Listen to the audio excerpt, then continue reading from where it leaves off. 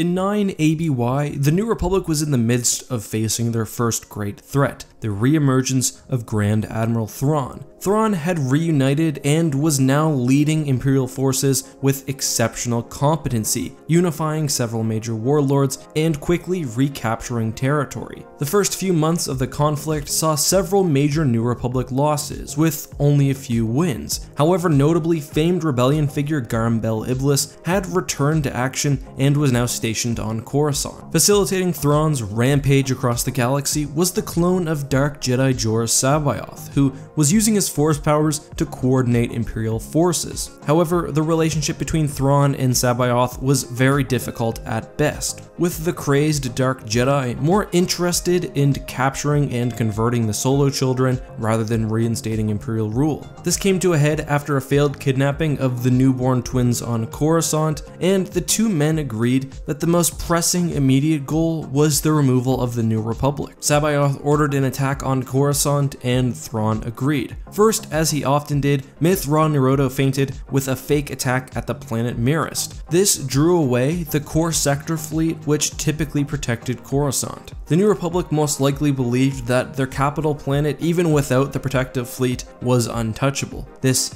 would be tested. Thrawn entered the system with 8 interdictor cruisers, with 2 more plus 8 Katana dreadnoughts soon following. Immediately, the New Republic sends a recall notice to the sector fleet. However, Imperial forces destroy the sensor relay stations around Coruscant, making any sort of response or follow-up to the SOS impossible. Defensively, Coruscant was protected by two Golan 3 platforms, as well as ground-based cannons. Unfortunately, at this point, the Imperial fleet and the Golan cannons themselves were outside the range of the ground-based ion cannons. Six Star Destroyers would soon appear, splitting up into two groups of three and heading towards the Golan platforms. At this point, the New Republic was launching their starfighters and gunships, and the smaller Imperial dreadnoughts and support vessels were moving to escort the Star Destroyers. As the Star Destroyers entered the Golan kill zones and began firing on the massive stations, interdictor cruisers move up to perform what was known as a Thrawn pincer. They activate their gravity well generators, allowing two Victory Star Destroyers to make ultra precise jumps next to the weapons platforms where they're able to deliver a full broadside, almost piercing the shields. As this is happening, New Republic vessels are attempting to push back the Empire with no effect. Up to this point, the New Republic's response had been led by Admiral Drayson, a respected commander, but not near the tactical genius of Thrawn. Eventually, the role shifts to Garm Bel Iblis, who immediately changes strategy.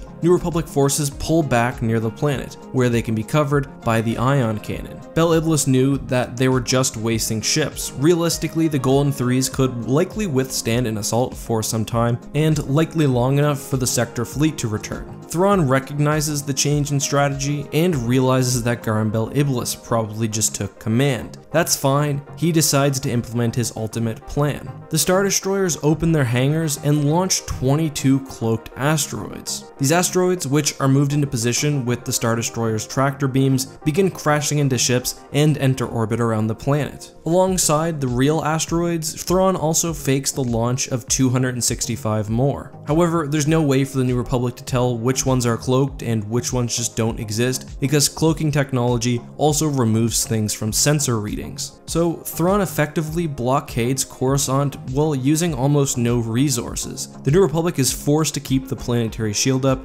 or risk a catastrophic asteroid crash. With the shield up, no one can leave or enter the planet, and there's no real way to quickly destroy the asteroids. This however was just one more step in Thrawn's ultimate plan. He knew the New Republic would now need to find the Crystal Grav Field Trap, which would be able to identify the cloaked asteroids. This all culminated with the Battle of Bilbringi, where he came very close to landing a death blow against the New Republic. I've actually broke down that battle in some detail and I'll link to it in the upper right hand corner. But what do you think? Was Thrawn's strategy incredibly intelligent or was there some way to counter it that the New Republic just didn't think of? Personally, I wonder whether some sort of gravity generating device like an interdictor cruiser would have been able to pull the asteroids out of orbit, but that's just my opinion. As always guys, thank you so much for tuning in. This has been your host Eckhart's Ladder. Until next time, may the force be with you.